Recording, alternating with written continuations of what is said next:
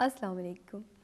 Matric रियाजी के सिलसिले के आज के प्रोग्राम में हम आपको वेरिएशन यानी तगैर और उसकी दो अकसाम, डायरेक्ट वेरिएशन और इन्वर्स वेरिएशन के बारे में बताएँगे। इसके अलावा हम प्रोपोर्शन यानी तनासब और उसकी चंद खवास के बारे में भी बात करेंगे। तो आइए पहले ये जानते हैं कि वेरिएशन या तगैर से क्या मुराद है। नाजरीन जैसा कि आपको मालूम है कि रोज़मर्रा ज़िंदगी में हमें अक्सर ऐसी चीज़ों से वास्ता पड़ता है जिनकी मकदारें तब्दील होती रहती हैं। मसलन, बारिश को ही लीजिए। हम देखते हैं कि बारिश कभी कम और कभी ज़्यादा होती है। और अगर हम दर्जा हरारत पर नज़र डालें तो ख्वा वो जिस्मानी हो या बलहाज मौसम दर्जा हरारत कम और ज़्यादा होता रहता है। तो ये सब वेरिएशन यानी तगैर है। इसी तरह हम गाड़ी की स्पीड की मिसाल भी ले सकते हैं। गाड़ी की स्पीड भी कभी कम और कभी ज़्यादा होती है। नाजरीन, अभी आपने वेरिएशन की चंद मिसालें देखी। रोज़मर्रा ज़िंदगी में हमें ऐसे मसाइल भी पेश आते हैं जिनमें तगैर एक ख़ास रब्त के तहत आता है। और बाज़ात यूँ भी होता है कि तगैर में कोई ख़ास रब्त नहीं होता। आज हम तगैर की उन अकसाम का ज़िक्र करेंगे जिनमें तगैर एक ख़ास रब्त और कायदे के तहत आता है। आइए इस सिलसिले में चंद मिसालें देखते हैं। मिसाल के तौर पर अशियाए सर्फ की कीमतों को ही लीजिए।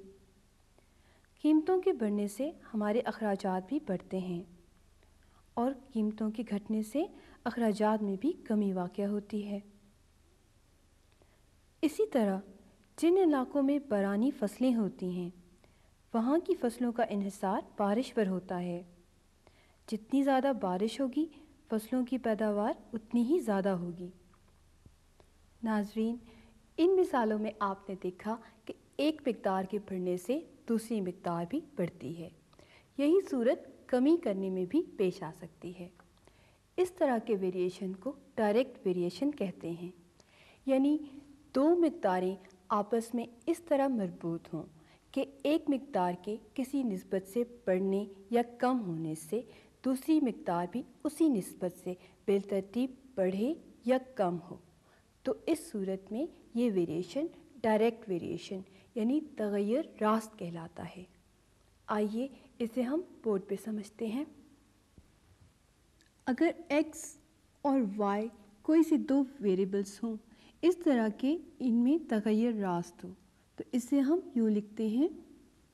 y डायरेक्टली प्रोपोर्शनल है x के, यानी y रास्त नासब है x के। इस अलामत को साइन ऑफ़ प्रोपोर्शनैलिटी कहते हैं। वाई और एक्स में तगैर रास्त होने से मुराद है कि अगर एक्स की कीमत बढ़ेगी तो साथ ही वाई की कीमत भी बढ़ेगी। इसी तरह अगर एक्स की कीमत में कमी पेश आएगी तो वाई की कीमत भी कम होगी। दूसरे लफ्ज़ों में वाई और एक्स की कीमतें हमेशा मुस्तकिल होती हैं। यानी y is equal to k x जबकि k कोई कांस्टेंट है। k को कांस्टेंट ऑफ़ प्रोपोर्शनैलिटी कहते हैं और ये हमेशा गैर सिफर होता है। तो इस सूरत में हमें k की ये वैल्यू मिलेगी। k बराबर है y ओवर x के। नाजरीन डायरेक्ट वेरिएशन की डेफिनेशन जानने के बाद, अब हम इसे एक मिसाल की मदद से समझते हैं। फ़र्ज़ कीजिए कि हम ये दो मुख्तलिफ़ साइज़ के सर्कल्स लेते हैं। यहाँ आप देख सकते हैं कि अगर सर्कल का रेडियस बड़ा हो तो फिर उसका एरिया यानी रकबा भी बड़ा होता है। इसी तरह अगर रेडियस छोटा हो तो फिर एरिया भी छोटा होता है। यहाँ हम आपको ये बात बता दें कि किसी सर्कल के एरिए और उसके रेडियस के स्क्वायर में डायरेक्ट वेरिएशन होता है। आइए इसे बोर्ड पे समझते हैं। फ़र्ज़ कीजिए कि ए किसी सर्कल का एरिया यानी रकबा और आर इसका रेडियस है। फिर इस सूरत में एरिया और रेडियस के स्क्वायर में डायरेक्ट वेरिएशन होता है। तो फिर डेफिनेशन के रू से ए बराबर होगा के इंटू आर स्क्वेयर के, जबकि के कोई कांस्टेंट ऑफ़ प्रोपोर्शनैलिटी है, जो कि गैर सिफर है। यहाँ अगर हमें ए और आर की वैल्यूज़ मालूम हो तो इस सूरत में हम के की वैल्यू बड़ी आसानी से निकाल सकते हैं। यानी के बराबर होगा ए ओवर आर स्क्वेयर मिसाल के तौर पर, अगर हम एरिया ये लें 198 बाय 7 सेंटीमीटर स्क्वायर और आर फ़र्ज़ कीजिए कि थ्री सेंटीमीटर है तो इस सूरत में के की वैल्यू ये होगी के बराबर है 198 by seven into one over three square जो के बराबर होगा 22 बाय सेवन की, जो ये एक कांस्टेंट है। नाजरीन, ये तो थी डायरेक्ट वेरिएशन की एक मिसाल। अब हम आपको वेरिएशन की एक और किस्म इन्वर्स वेरिएशन यानी तगैर माखूज के बारे में बताते हैं। अगर दो मकदारें आपस में इस तरह बाहम मरबूत हों कि एक की मकदार बढ़ने से दूसरी की मकदार घटे, या फिर एक की मकदार घटने से दूसरी की मकदार बढ़े तो फिर इन दोनों वेरिएबल्स में इन्वर्स वेरिएशन यानी तगैर माकूस होता है। आइए इसके सिलसिले में चंद मिसालें देखते हैं। फ़र्ज़ कीजिए कि हम किसी इमारत को लेते हैं। इसको बनाने के लिए अगर मज़दूरों की तादाद ज़्यादा होगी तो फिर इमारत कम मुद्दत में बनेगी। और अगर मज़दूरों की तादाद कम होगी तो फिर उसी इमारत को बनाने के लिए ज़्यादा अरसा दरकार होगा। इसी तरह फ़र्ज़ कीजिए कि चंद आदमियों के लिए खुराक का कुछ ज़ख़ीरा मौजूद है। अगर आदमियों की तादाद ज़्यादा होगी तो फिर ये खुराक कम दिनों में ख़त्म हो जाएगी। और अगर आदमियों की तादाद कम होगी तो फिर यही खुराक ज़्यादा दिनों में ख़त्म होगी। इस तरह आदमियों की तादाद और दिनों की तादाद में इन्वर्स वेरिएशन यानी तगैर माखूस है। ये तो थी इन्वर्स वेरिएशन यानी तगैर माखूस की चंद मिसालें। अब हम इन्वर्स वेरिएशन को कोई से दो वेरिएबल्स, मसलन एक्स और y लेकर समझते हैं। फ़र्ज़ कीजिए कि एक्स और वाई कोई से दो वेरिएबल्स हैं जिनमें इन्वर्स वेरिएशन यानी तगैर माकूस है। तो इसे हम यूँ लिखेंगे वाई इन्वर्सली प्रोपोर्शनल है एक्स की।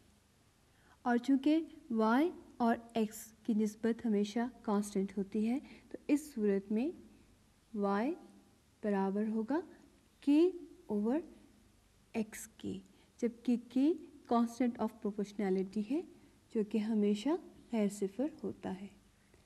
इस सूरत में हमें k की ये वैल्यू मिलती है, k बराबर होगा x इंटू वाई की मिसाल के तौर पर, अगर x बराबर हो सिक्स के और y बराबर हो फोर के इस सूरत में k बराबर होगा सिक्स इंटू फोर यानी ट्वेंटी फोर के।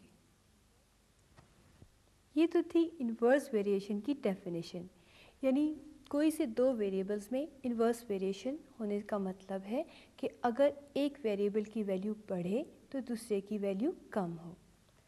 इसको मज़ीद समझने के लिए आइए इससे मुतलक हम एक मिसाल देखते हैं।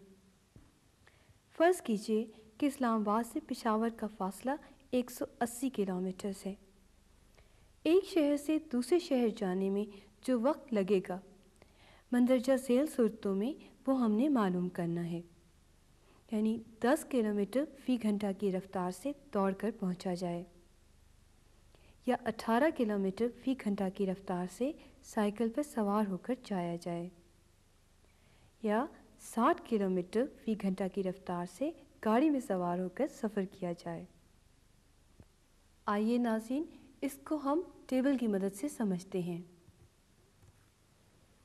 चूँकि कुल फासला 180 किलोमीटर है तो इस सूरत में 10 किलोमीटर की रफ्तार से जाने में 18 घंटे लगेंगे। और इसी तरह 18 किलोमीटर फ़ी घंटा की रफ्तार से जाने में 10 घंटे लगेंगे और 60 किलोमीटर फ़ी घंटा की रफ्तार से जाने में तीन घंटे लगेंगे। इस टेबल में आपने देखा कि जब रफ्तार बढ़ती है तो फिर उसी नस्बत से वक्त कम लगता है। तो इस तरह से रफ्तार और वक्त में तगैर माकूस, यानी इन्वर्स वेरिएशन हुआ आइए इसे हम बोर्ड पे समझते हैं। फ़र्ज़ कीजिए कि स्पीड यानी रफ्तार को हम एस से ज़ाहिर करते हैं और टाइम यानी वक्त को टी से। तो फिर इस सूरत में एस इन्वर्सली प्रोपोर्शनल होगा टी के, क्योंकि स्पीड बढ़ने से टाइम कम लगता है। इस तरह से हमें एस की ये वैल्यू मिलती है। S is equal to k over t जबकि के कॉन्सेप्ट ऑफ़ प्रोपोर्शनैलिटी है, इसकी ये वैल्यू होगी k is equal to s into t k की वैल्यू हम इस टेबल से मालूम करते हैं। यहाँ आप देखिए के रफ्तार और वक्त का हासिल ज़रब हर सूरत में 180 आता है। तो इस सूरत में के की वैल्यू 180 है, जो कि कांस्टेंट है। नाजरीन, अभी हमने आपको इन्वर्स वेरिएशन यानी तगैर माकूस के बारे में बताया और इससे मुतालिक एक मिसाल भी समझाई। अब हम आपको प्रपोर्शन यानी तनासिब के बारे में बताते हैं। आम ज़िंदगी में हम अक्सर चीज़ों में तनासिब का ख्याल रखते हैं। फ़र्ज़ कीजिए हमने केक बनाना है। इसके लिए हम तमाम चीज़ें एक ख़ास तनासब से लेते हैं। मिसाल के तौर पर, आठ किलो मैदे में हम छः अंडे डालेंगे। इसी तनासब से एक किलो मैदे में हम बारह अंडे डालेंगे।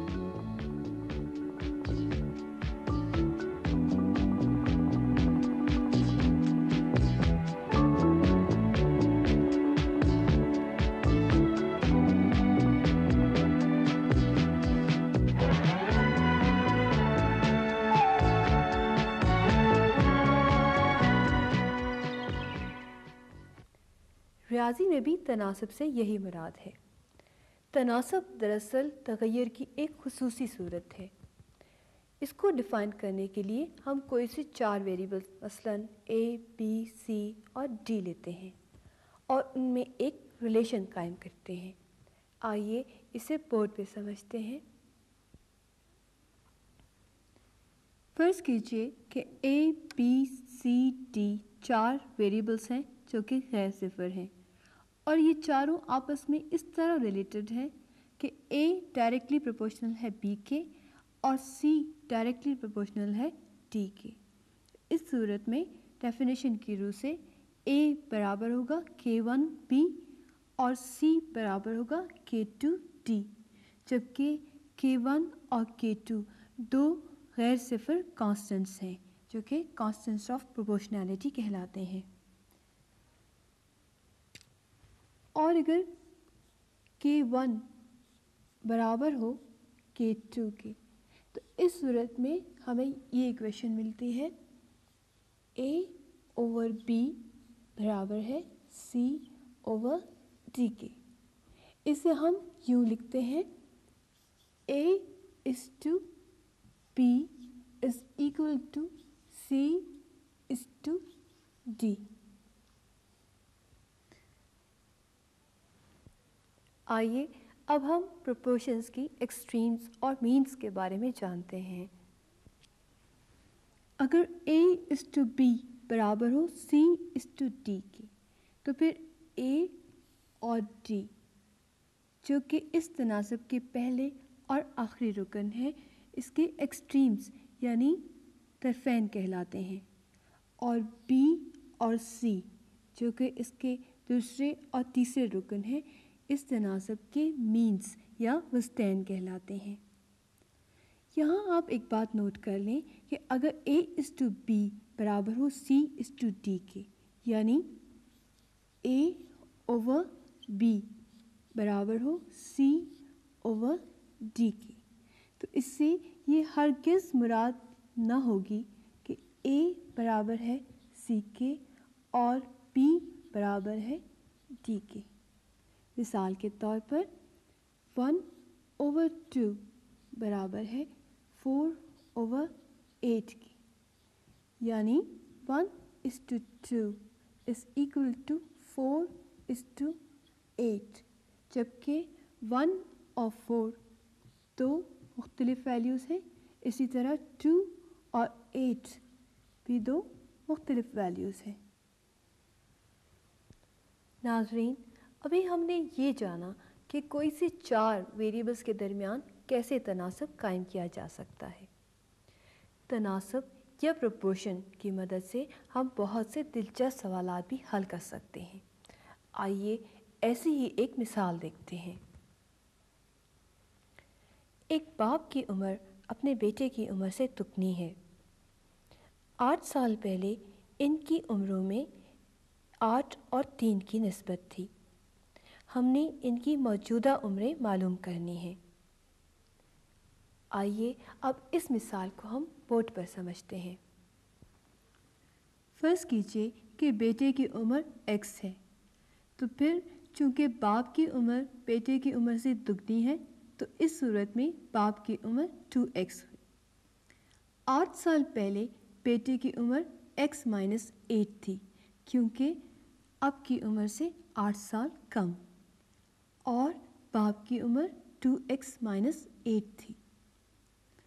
अब चूँकि इन दोनों की उम्रों में आठ इस टू थ्री की नस्बत है तो इस सूरत में हमें ये इक्वेशन मिलती है।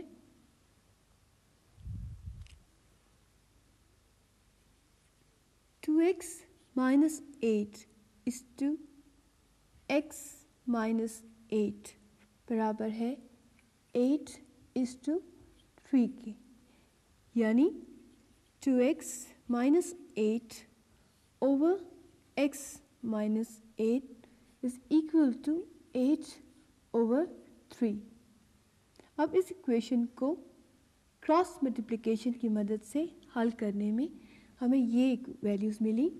Three into two x minus eight बराबर है eight into x minus eight जिसको सॉल्व करने से हमें x की ये वैल्यू मिलती है, x बराबर है ट्वेंटी के। यानी बेटे की उम्र बीस साल है। और चूँकि बाप की उम्र इससे दुगनी है तो बाप की उम्र टू एक्स यानी चालीस साल होगी। नाजरीन, इस तरह के और भी बहुत से दिलचस्प सवाल हम प्रोपोर्शन की मदद से हल कर सकते हैं। प्रोपोर्शन या तनासब को जानने के बाद, अब हम प्रॉपर्टीज़ ऑफ़ प्रोपोर्शन यानी तनासब के चंद खवास के बारे में बात करते हैं। आइए इसे हम बोर्ड पे समझते हैं। अगर a इज़ टू बी बराबर हो सी इज़ टू डी के, जबकि ए बी सी डी चारों नॉन ज़ीरो वेरिएबल्स हैं तो फिर इस सूरत में तरफैन का हासिल ज़रब बराबर होता है वस्तैन के हासिल ज़रब की। यानी a into d is equal to b into c नाजरीन, अब हम प्रोपोर्शंस की कुछ और प्रॉपर्टीज़ के बारे में आपको बताते हैं। प्रोपोर्शन की एक प्रॉपर्टी है अल्टरनेंडो या इब्दाल नस्बत। आइए इसके बारे में जानते हैं। अगर a इस टू बी बराबर है सी इस टू डी के। तो फिर ऑल्टरनेंडो की प्रॉपर्टी से ए इस टू सी बराबर होगा बी इस टू डी के। यानी इस प्रॉपर्टी में हम व स्टैंड की पोजीशंस को चेंज करते हैं बी की जगह सी और सी की जगह बी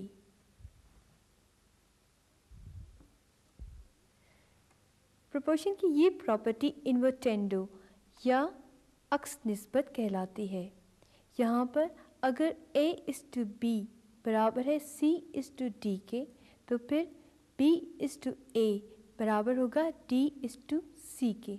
यानी b over a is equal to d over c यानी इस प्रॉपर्टी इन्वर्टेंडो में हम ए और बी का इन्वर्स लेते हैं। इसी तरह सी और डी का भी इन्वर्स लेते हैं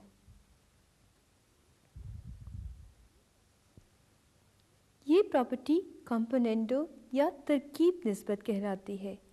यहाँ अगर a ओवर b बराबर है सी ओवर डी के तो फिर a plus b over b बराबर होगा c plus d over d के, और a over a plus b बराबर है c over c plus d के। यानी इस प्रॉपर्टी में हम न्यूमरेटर को डिनोमिनेटर से जमा करते हैं इस प्रॉपर्टी को डिविडेंडो या तफसील नस्बत कहते हैं। यहाँ पर अगर a ओवर b बराबर हो सी ओवर t के, यानी ए और सी दोनों न्यूमरेटर्स और बी और डी दोनों डिनोमिनेटर्स हों तो इस प्रॉपर्टी के तहत a minus b over b बराबर है c minus d over d के। यानी यहाँ हम न्यूमरेटर से डिनोमिनेटर को मनफी करते हैं। इसी तरह a over a minus b बराबर है c over c minus d के। नाजरीन, हमने आपको प्रोपोर्शन की दो प्रॉपर्टीज़ कॉम्पोनेंडो और डिविडेंडो के बारे में बताया। इन दोनों प्रॉपर्टीज़ को मिलाने से एक और प्रॉपर्टी मिलती है, जिसे कॉम्पोनेंडो एंड डिविडेंडो प्रॉपर्टी यानी तरकीब व तफसील नस्बत कहते हैं। आइए इसके बारे में जानते हैं। इस property componendo and dividendo property में अगर a ओवर b बराबर हो सी ओवर डी के, जबकि ए और सी दोनों न्यूमरेटर्स और बी और डी दोनों डिनोमिनेटर्स हैं तो यहाँ हम न्यूमरेटर को डिनोमिनेटर में ऊपर जमा करते हैं और न्यूमरेटर से डिनोमिनेटर को नीचे मनफी करते हैं, यानी a plus b over a minus b बराबर है c plus d over c minus d के।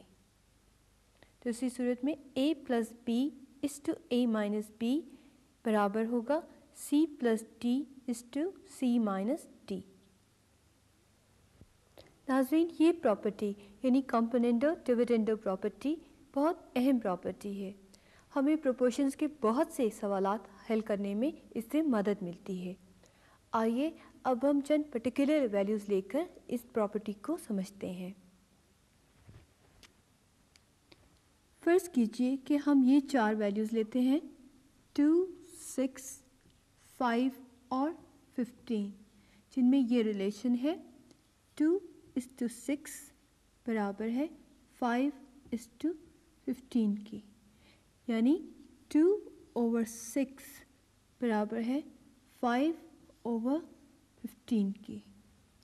तो फिर कंपोनेंडो डिविडेंडो प्रॉपर्टी में हम डिनोमिनेटर को न्यूमरेटर में पहले ऐड करते हैं, यानी टू प्लस सिक्स और नीचे डिनोमिनेटर से न्यूमिनेटर को मनफी करते हैं, यानी टू माइनस सिक्स इसी तरह ये बराबर होगा five plus fifteen over five minus fifteen के। यानी एट ओवर माइनस फोर बराबर है ट्वेंटी ओवर माइनस टेन की। दूसरे लफ्ज़ों में minus two is equal to minus two क्योंकि इसको कैंसिल करने से हमें ये वैल्यूज़ मिलते हैं। प्रोग्राम के आखिर में हम आपको के मेथड यानी के के कायदे के बारे में बताते हैं। नाजरीन के मेथड भी प्रोपोर्शंस के सवाल हल करने में इस्तेमाल होता है। आइए इस मेथड को हम एक मिसाल की मदद से समझते हैं। फ़र्ज़ कीजिए कि ए ओवर बी बराबर है सी ओवर डी जो कि बराबर है ई ओवर एफ़ के।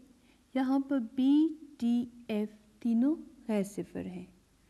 हमने ये प्रूव करना है कि ये तीनों वैल्यूज़ बराबर हैं l a c plus n e over l b plus m d plus n f के जबकि एल एम एन तीनों गैर सिफर मुतगरात हैं। यहाँ पर के मेथड के ज़रिए हम a over b equal to c over d equal to e over f को किसी कांस्टेंट के के बराबर लेते हैं। जबकि के गैर सिफर है। अब इस इक्वेशन से हमें ये वैल्यूज़ मिलती हैं। ए बराबर है बी के के। इसी तरह सी बराबर है डी के के और ई e बराबर है एफ़ के।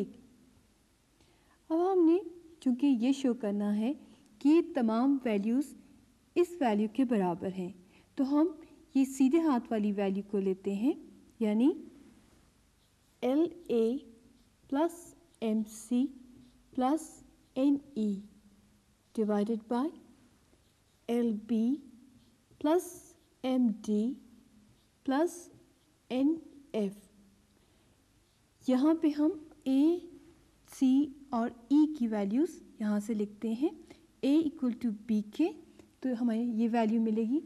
एल बी के प्लस इसी तरह सी की वैल्यू डी के है तो m d k plus n e and e is equal to f k तो n f k whole divided by this value यानी l p plus m d plus n f k अब यहाँ पे numerator में आप देखिए कि के थ्रू आउट कॉमन है।